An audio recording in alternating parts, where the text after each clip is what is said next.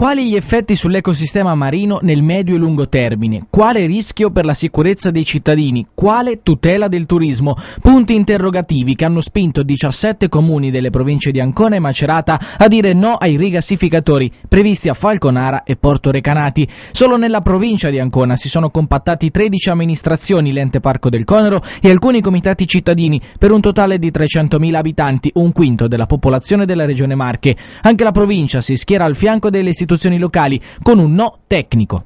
La provincia ha invece evidenziato alcune carenze a suo avviso tecniche che si sono verificate nelle procedure.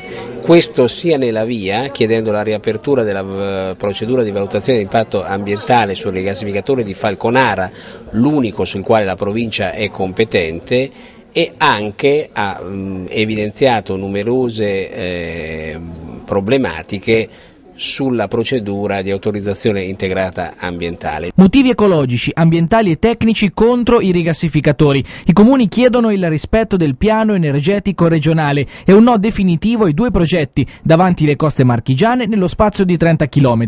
Tocca alla Regione raccogliere adesso le loro istanze in sede di conferenza Stato-Regioni, nella cui seduta del prossimo 27 aprile è già stata rinviata la firma sull'intesa. Chiediamo alla Regione un impegno maggiore, un impegno eh, preciso perché eh, oltre al no, eh, oltre al posticipo del, dell'incontro ci possa essere un no successivo. Due progetti simili ma istruttorie diverse. Il rigassificatore di Porto Recanati non ha ricevuto l'ok della valutazione di impatto ambientale, che invece ha avuto quello di Falconara. I comitati e il PD cittadino sono preoccupati della situazione che si verrebbe a creare in un territorio già ad alta criticità ambientale. Siccome questo territorio ha delle strutture tali sulle quali si può fare anche un rigassificatore, passi questo messaggio. Noi diciamo invece che non vogliamo assolutamente un altro rigassificatore a Falconara, noi diciamo che deve essere alleggerito dal, punto di vista ambientale il territorio e dobbiamo ricordare che se sfortunatamente ci sarà un rigassificatore a Falconara non possiamo non pensare che ci sarà anche la mega centrale.